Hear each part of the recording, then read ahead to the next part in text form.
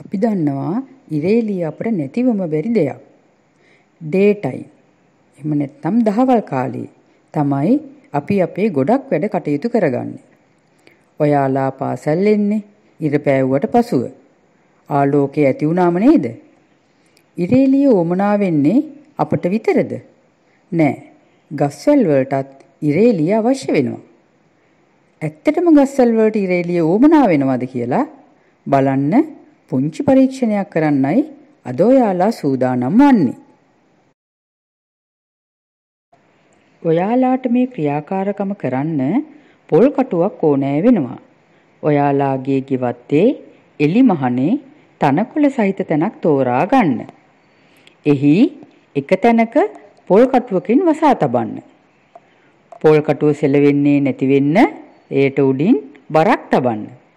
දැන් ඔයාලා හිතන්න අපි පොල් කටුවෙන් වසා තැබූ තනකොළ ටිකට කුමක් සිදු වෙයිද කියලා.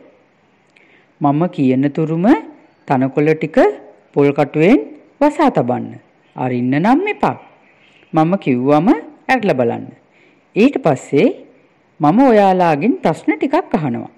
ඒවාට මට උත්තර ඕනේ.